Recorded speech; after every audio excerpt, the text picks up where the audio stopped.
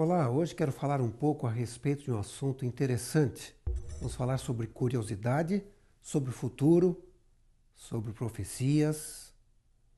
Eu não sei se você percebeu, mas crianças são bastante curiosas.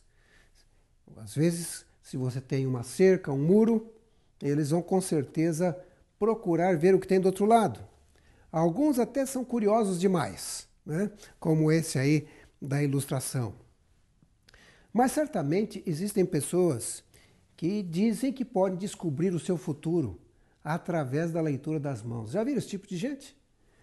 É, eu me lembro que às vezes eu passava ali eh, no centro de São Paulo e havia algumas pessoas que ficavam ali dizendo que podiam ler as mãos.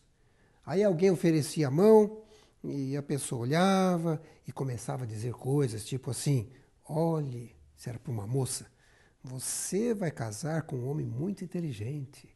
E a moça dizia: ah, conta mais, conta mais. Olha, vão ter três filhos lindíssimos. Ah, conta mais, conta mais. Ah, o seu esposo é um empresário de muito sucesso. Ah, conta mais, conta mais. Bom, isso era quando a coisa era boa. Porque quando a coisa era ruim, era mais ou menos assim. Nossa, o que, que é isso que a senhora está vendo aí? Doença, tristeza. Ah, eu nem acredito nessas coisas, dando a mão para essa mulher ler para mim. Né? A gente só acredita, ou as pessoas só acreditam quando a coisa é boa. Mas as pessoas querem saber o futuro. Na verdade, a Bíblia diz o seguinte, em 1 Timóteo 4, verso 1. Ora, o Espírito afirma expressamente que nos últimos tempos alguns apostatarão da fé por obedecerem a espíritos enganadores e ensinos de demônios. Está em 1 Timóteo capítulo 4, verso 1. Você percebe que há uma advertência aqui, porque as pessoas hoje querem saber o futuro. Eu estava pesquisando na internet e tentando visualizar quantas pessoas é, procuram horóscopo. E eu percebi que tem um interesse muito grande. Vejam só, ao digitar a palavra horóscopo no Google, mais de 60 milhões de resultados em 12 segundos. Ou seja, muita gente interessada em saber o futuro. Aí eu decidi tentar a palavra profecia. E olhem só, 11 milhões e meio de resultados. Muita gente pesquisando a respeito de horóscopo, pesquisando a respeito de profecia, querendo saber o que nos reserva o futuro. Também descobri ah, ah, algumas empresas que vendem horóscopos para o seu website. Olha o que dizia um deles, uma dessas publicidades. Eles diziam assim: todos os grandes jornais e revistas têm horóscopo. Por que o seu não teria? O horóscopo é uma maneira efetiva de atrair leitores, porque eles passam a visitar regularmente o seu site em busca do horóscopo deles. Quem não quer saber sobre o amanhã? Coloque um horóscopo no seu site. Quem não quer saber sobre o amanhã? E eles têm assim horóscopo para todo tipo de pessoa. Tem alguns assim mais esotérico, um outro para criança, um outro para quem gosta de desenhinhos. É, é horóscopo para todo tipo. E você acredita mesmo que eles sabem o seu futuro? Que eles conseguem dizer o que vai acontecer no dia seguinte ou mesmo nas próximas horas? Tem gente que acredita nisso, não é verdade?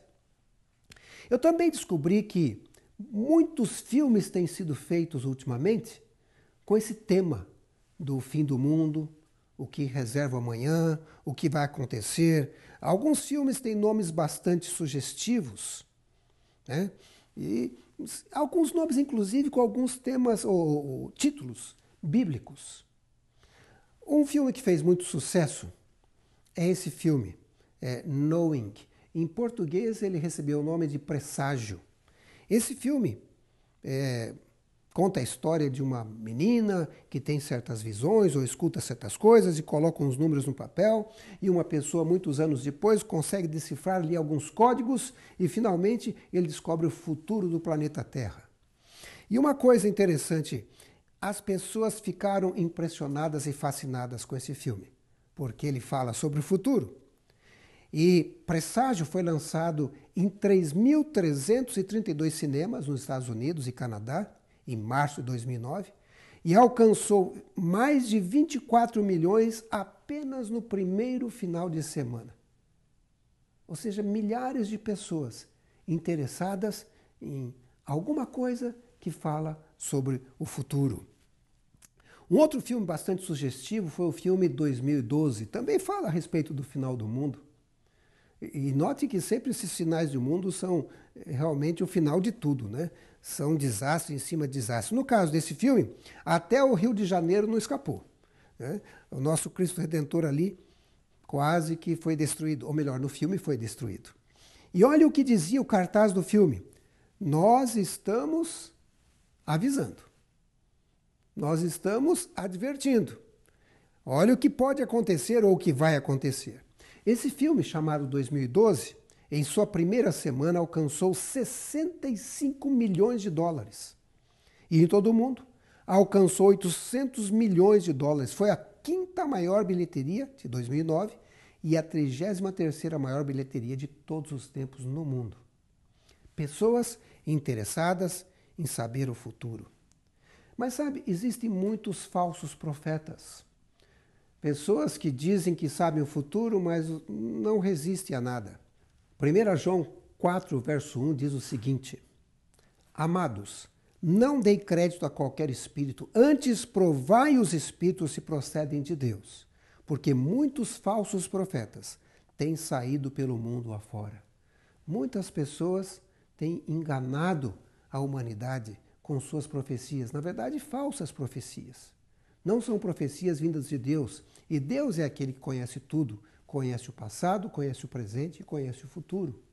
E pode, inclusive, moldar a nossa vida de tal forma que tenhamos uma vida abençoada no futuro.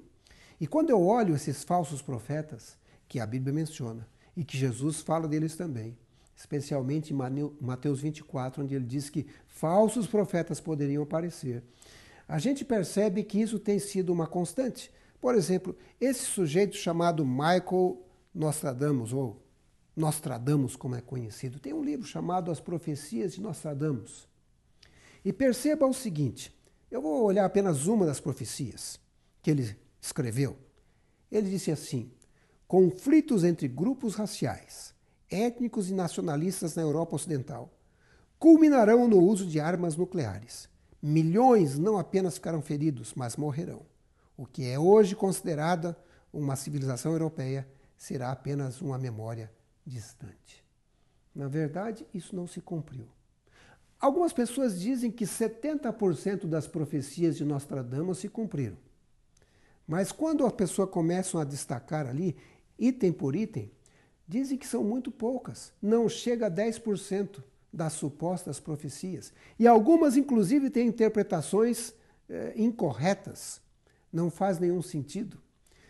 Um outro é, profeta desses fins de, fim de, final de, de tempo é o Edgar Cayce. Ele escreveu esse um livro com as suas profecias. Ele é conhecido como profeta dorminhoco ou profeta sonolento.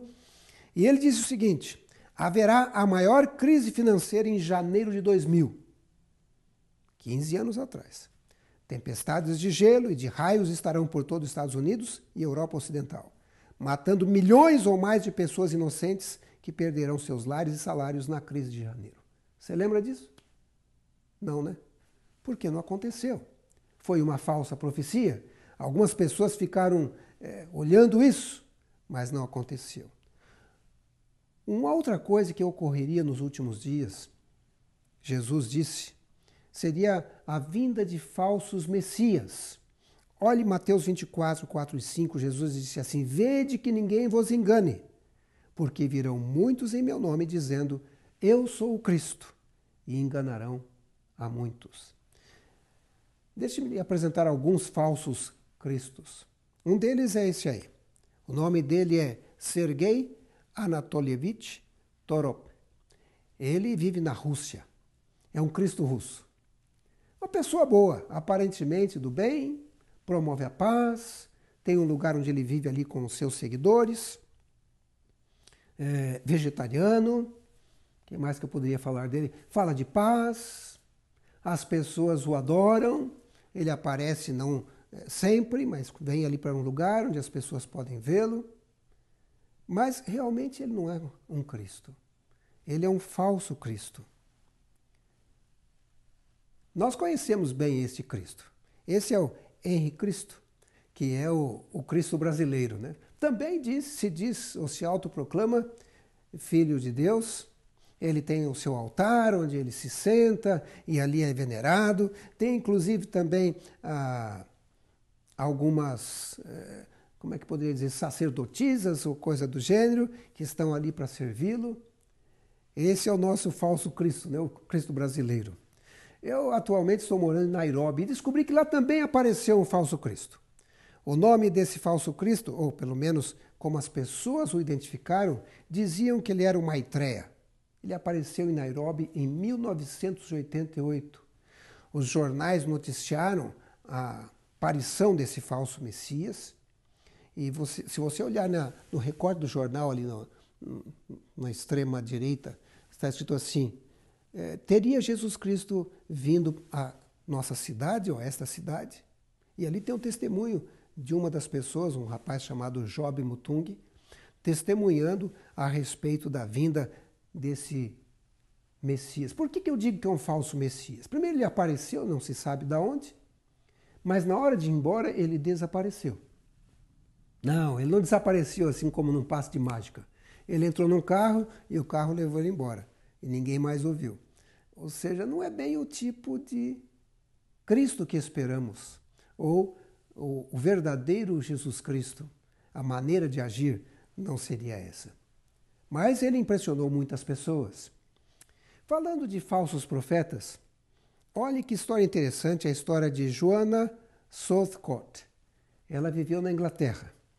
Essa mulher ela, em 1791, ela começou a ter algumas visões, dizia ela. Em 1801, começou a publicar alguns livros sobre profecias, advertências.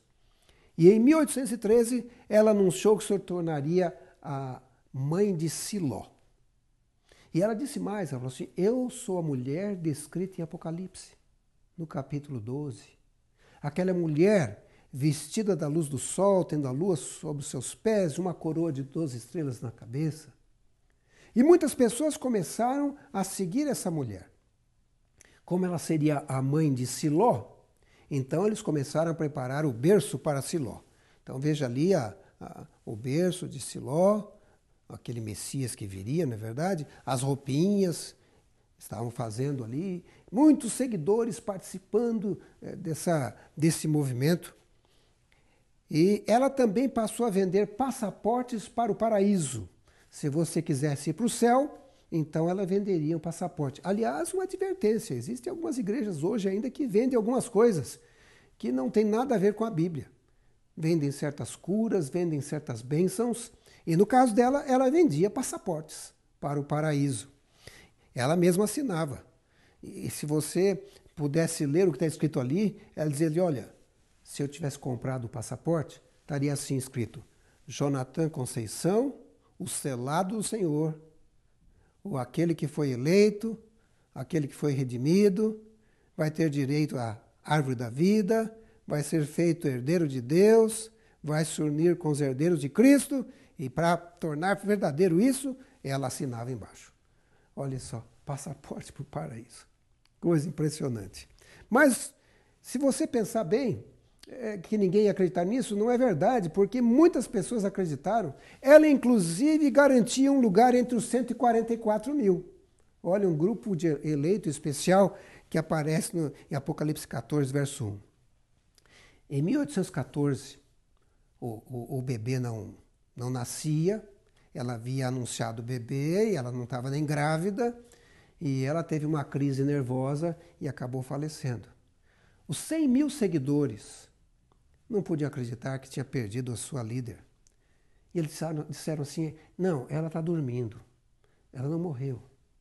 E pediram, dê pelo menos uma semana para ela ter uma chance, uma chance de ressuscitar. Mas ela nunca ressuscitou. Realmente ela morreu, sem ter dado à luz o Siló, o prometido. Mas ela tinha deixado uma caixa. E ela disse o seguinte: nesta caixa está a solução para todos os problemas do mundo. Quando o mundo estiver em crise, quando o mundo estiver em problemas, abram a caixa. Mas só quando o mundo estiver em crise, uma crise realmente violenta, problemática. E essa caixa ficou lá guardada e as pessoas começaram a pensar: o que será que tinha nessa caixa? O que será que tem nessa caixa que pode resolver os problemas do mundo? E o mundo começou, a, especialmente a Inglaterra, começou a entrar em problemas e a solução estava dentro da caixa. E as pessoas pensavam: o que, que tem na caixa? De repente ia melhorar o mundo, ia melhorar a Inglaterra. A gente devia abrir essa caixa. E alguns começaram a fazer, inclusive, algumas, uh, alguns pedidos públicos. Olhe, alguns cartazes grandes apareceram pela cidade, onde estava escrito crime, banditismo, é, perplexidade. Até quando isso vai aumentar? Até que os bispos da igreja de Joana Southcote. Abra a caixa. Por favor. Nós estamos com problemas aqui no nosso, nosso país. Vamos abrir a caixa. Não apenas assim, mas também colocaram é, nos ônibus, aqueles ônibus dois andares lá de, da Inglaterra, eles punham lá assim: problemas na Inglaterra estão aumentando. Até quando os bispos vão permanecer com essa caixa fechada? Abram a caixa. A solução para os problemas está nessa caixa. Então, como muita gente pediu, então eles fizeram uma cerimônia. E nessa cerimônia estavam várias pessoas presentes ali. E eles decidiram abrir a caixa. Eu imagino que você está curioso para saber o que tem dentro da caixa, né? Afinal de contas, todos os seus problemas podem ser resolvidos com o que tem dentro dessa caixa, não é verdade? Pois bem, eles abriram a caixa. Aqui você tem uma radiografia do que tinha dentro da caixa.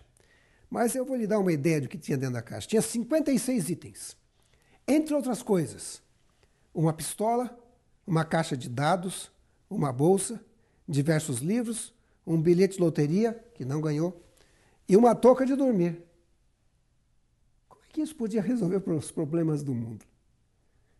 Claro que virou motivo de piada. Hoje essa caixa se encontra lá em, em um museu de coisas bizarras.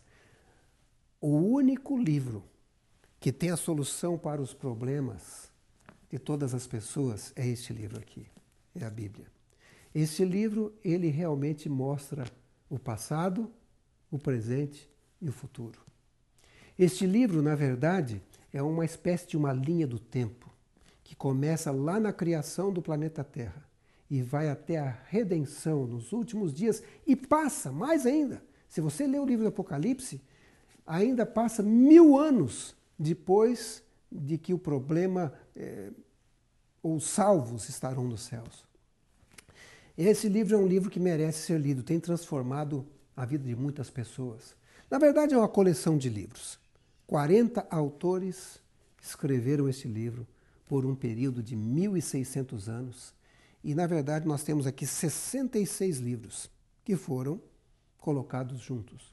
Uma parte deste livro, aqueles que foram escritos antes de Jesus, é chamado de Velho Testamento, e os que foram escritos depois de Jesus é chamado de Novo Testamento.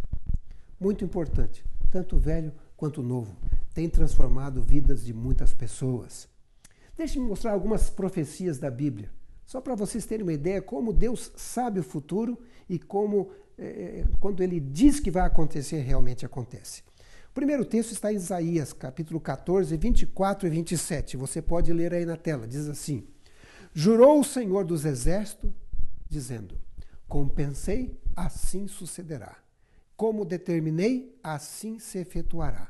Porque o Senhor dos Exércitos o determinou. Quem, pois, o invalidará? A sua mão está estendida, quem, pois, a fará voltar? Na verdade, quando Deus determina alguma coisa, realmente acontece.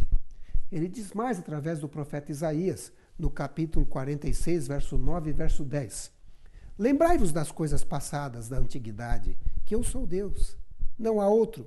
Eu sou Deus e não há outro semelhante a mim, que desde o princípio anuncio o que há de acontecer e desde a antiguidade as coisas que ainda não sucederam. Realmente esse é o nosso Deus. A Bíblia diz que toda a escritura é inspirada por Deus.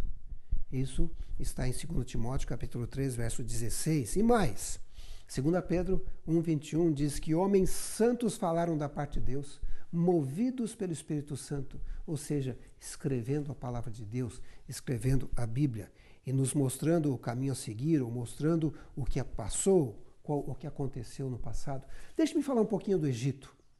Aqui você tem essa máscara de Tutankhamon, que está no Museu no Cairo. As pessoas que vão ao Egito ficam fascinadas com o que vem ali. A história passada diante uh, dos nossos olhos, as pirâmides, a esfinge, e tantas outras coisas mais. Na verdade, a maior pirâmide que tem é a Grande Pirâmide de Kelps. Você tem ali 137 metros de altura, cerca de 48 andares, 52 mil metros quadrados, 2,3 milhões de blocos de pedra, pesando de 1,5 a 3 toneladas cada uma, 120 mil trabalhadores e mais de 20 anos para serem construídas. Dizem os historiadores que elas não eram assim toda quebradiça, mas era lisinha e havia uma camada de, de, de ouro em algumas partes para brilhar e ficar bonito. A verdade é que hoje nós temos ali as ruínas no deserto e milhões de turistas visitam esse local. Mas vejam o que Deus disse em Ezequiel capítulo 30, verso 13, a respeito do Egito. Assim diz o Senhor Deus: também destruirei os ídolos e darei cabo das imagens em Mênfis. Já não haverá príncipe na terra do Egito, onde implantarei o terror. Isso foi o que Deus disse. Ele disse mais, Ezequiel 30, verso 19: Assim executarei juízo no Egito, e saberão que eu sou o Senhor. E realmente isso aconteceu. Ou seja, o Egito começou a ser destruído. Ezequiel traz ali uma série de profecias contra o Egito. Hoje nós podemos ver o Egito como ruínas. Você tem uma ideia do que aconteceu, ou, ou, como eram aquelas cidades? Como era cheio de vida? Como era um país poderoso? Ninguém podia imaginar na época, naquela época que o Egito seria completamente destruído. E hoje, quando você busca na literatura especialmente nesse livro escrito por Amélia Edwards, um livro chamado é, Mil Milhas é, Nilo Acima. Ali diz o seguinte: é isto, isto é tudo o que resta de Mênfis, a mais antiga das cidades. Um monte de escombros, uma dúzia ou mais de estátuas quebradas e um nome. Onde estão as imponentes ruínas que ainda na Idade Média se estendiam por um espaço de meio dia de caminhada em cada direção? alguém dificilmente acreditaria que uma grande cidade existiu nesse local ou entenderia como teria sido apagada tão completamente. E na realidade, foi o que aconteceu, porque Deus havia dito que ocorreria. Um outro local é a cidade de Tiro. Também existem algumas profecias. Tiro é uma cidade que hoje está no Líbano. Ezequiel 26, capítulo 3 a 5 o próprio Deus disse, disse assim: Assim diz o Senhor Deus: Eis que estou contra ti, ó Tiro, e farei subir contra ti muitas nações, como faz o mar subir as suas ondas. Elas destruirão os muros de Tiro e deitarão abaixo as tuas torres. E eu varrerei o seu pó, farei dela penha descalvada no meio do mar. Virá a ser um enxugador de redes, porque eu o anunciei, diz o Senhor Deus, e ela servirá de despojo para as nações que mais que ele diz a respeito de Tiro?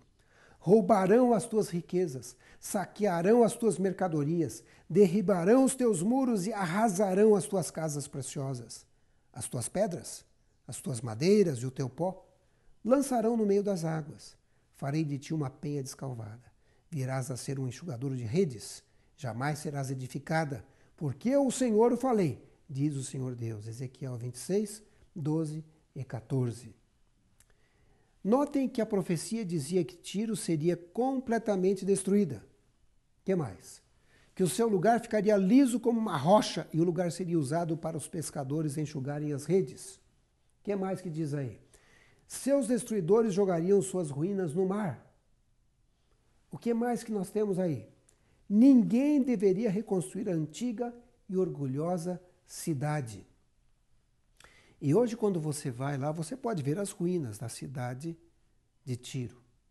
Aquela cidade, outrora, um lugar de muito comércio, muitas pessoas passavam por ali e agora é destruída.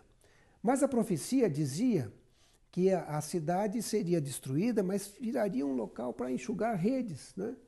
E se você olhar, por exemplo, um mapa antigo, um desenho antigo, a primeira destruição da cidade velha de Tiro, que era por aqui, né, no continente, mudou-se para a ilha. E nessa ilha eles fizeram uma fortaleza. E quando Alexandre o Grande chegou para tentar conquistar Tiro, era muito difícil. Ele tentou com navios, com tudo, mas não tinha condição. O que, que ele fez? Ele começou a escavar a velha cidade, as rochas e tudo mais, e começou a jogar no mar, e criando assim uma ponte. E essa ponte se aproximando da ilha. Ao tirar tudo do continente, ele acabou com a cidade. A cidade ficou lisa como uma rocha e realmente não tinha mais nada lá e só servia para os pescadores levarem mais tarde as suas redes para serem enxugadas naquele local. Hoje, quando você olha é, o mapa visto do satélite, ainda é possível é, notar que a ponte que Alexandre fez, obviamente, com o passar do tempo, a ilha quase que se juntou ao, ao continente, mas a cidade hoje só existem ruínas. Ela foi destruída. E com isso a profecia se cumpriu completamente. Uma outra profecia da Bíblia diz a respeito de Petra, a antiga Edom. Hoje, Petra é, é uma cidade é, que fica na Jordânia e muitas pessoas visitam e é conhecida, mas o texto da Bíblia dizia o seguinte: você pode ver que é uma cidade com várias. É, havia muita gente vivendo nesse lugar. Inclusive havia ali um teatro, né? Teatro, muita gente. Imagine isso lotado de gente gritando ali, ou túmulos, ruas. Era uma cidade viva. Mas a profecia da Bíblia, em Isaías capítulo 34, 10, diz: De geração em geração será assolada e para todo sempre ninguém passará por ela. Na verdade, se você ler toda a profecia ali em Isaías 34, vai perceber que seria um local que só os animais estariam ali, naquela cidade. Isso se cumpriu à risca. Hoje os turistas vão para lá durante o dia, os beduínos levam os turistas, mas depois voltam para a cidade, uma outra cidade fora dessa região. Ou seja, a Bíblia dizendo que ocorreria a essas cidades e as coisas se cumprindo à risca. O livro de Isaías, capítulo 40, verso 8 diz: Seca-se a erva, cai a sua flor, mas a palavra de nosso Deus permanece eternamente. A Bíblia Sagrada, o que ela fala, realmente tem sido comprovado. É por isso que é um livro que, nesses séculos ou milênios, tem sido um livro muito especial. É o livro mais vendido, é o livro mais lido, é o livro mais traduzido. Milhões de pessoas leem a Bíblia diariamente por todo o mundo. Milhões de pessoas têm tido suas vidas transformadas. E existem algumas promessas na Bíblia que são muito importantes. Uma delas é a respeito da segunda vinda de Jesus Cristo. E através das profecias da Bíblia, nós podemos estar seguros que esse evento vai ocorrer. No Novo Testamento, nós temos ali centenas de citações, ou de promessas ou profecias, que apontam para a segunda vinda de Jesus. E esse tem sido o anseio. Jesus prometeu aos discípulos e a nós, através da palavra de Deus, em João 14, verso 3: Voltarei e vos receberei para mim mesmo, para que onde eu estou estejais vós também. Portanto, eu sugiro a você que leia a Bíblia.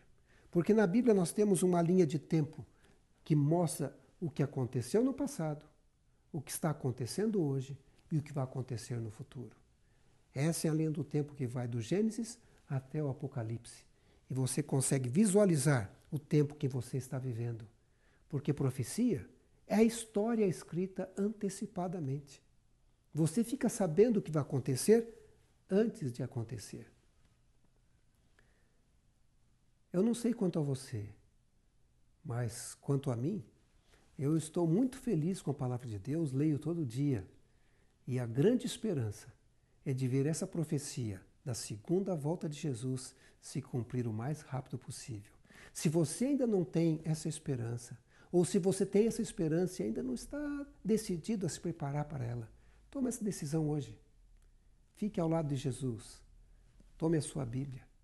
Fique sabendo o que aconteceu no passado, o que está acontecendo hoje e o que reserva para nós o futuro. Existe esperança para o futuro. Que Deus abençoe você.